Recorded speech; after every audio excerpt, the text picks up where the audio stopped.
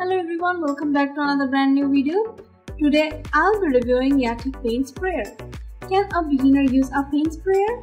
If you are a beginner or novice, you can use a paint sprayer.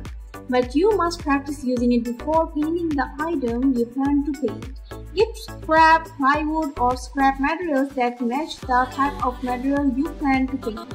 Get a feel of handling the gun and understand the flow of grades and thickness of the cartridge. See how the spray fans out and look for overspray and see if you notice drips. Practice moving the spray from side to side and look at how the spin spray is affected by moving closer. And further away from the subject, also wear old clothes that you don't care about getting ruined by paint spray. A paint sprayer is convenient for applying paint in less time than with a brush or roller. Painting with a sprayer makes the work easy on big or small jobs. You can stain a bench with a sprayer or use one to paint an entire house interior. Paint sprayers have an obvious advantage. They can spread paint, stains, and clean finishes faster than any brush or roller. But just as important is their ability to apply an even coating to uneven surfaces like window shutters and stair balusters, fertile ground for brush strips. Is it better to brush or spray paint? Hand brushing a new color may not give you the complete even coverage you are even looking for. A spray gun will give you full coverage and a more even coating for your new paint color. Spraying is more versatile and it can be used on many different surfaces with an even finish and little paint stick. Which feature to look for in the best paint sprayer? A well-built motor equals a well-built paint sprayer. If you want to spray your gun to stay working for years, you must make sure that the gun you are buying has a great sturdy motor.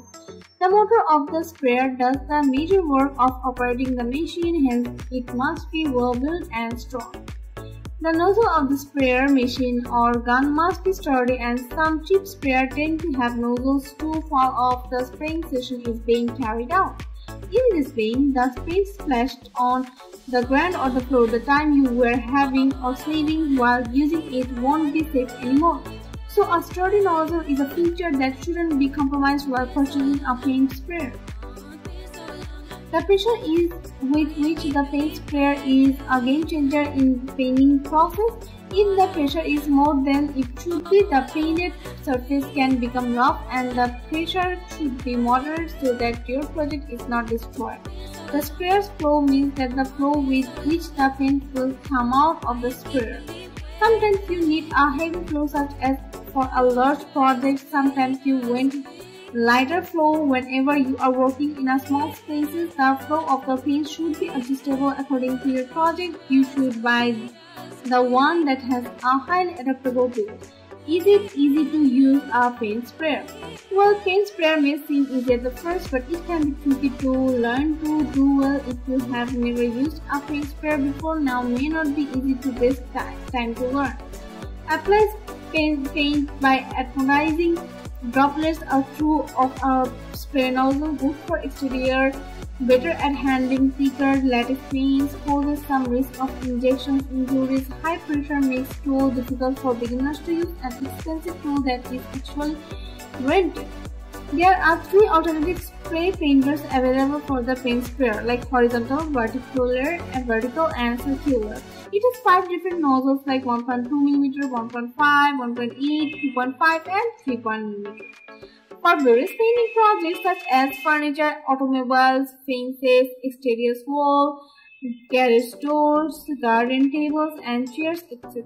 It is detachable, making it easier to use, clean, and the painted output can be controlled by adjusting the flow control knob on the sprayer to obtain different paint outputs. Let's talk about the pros.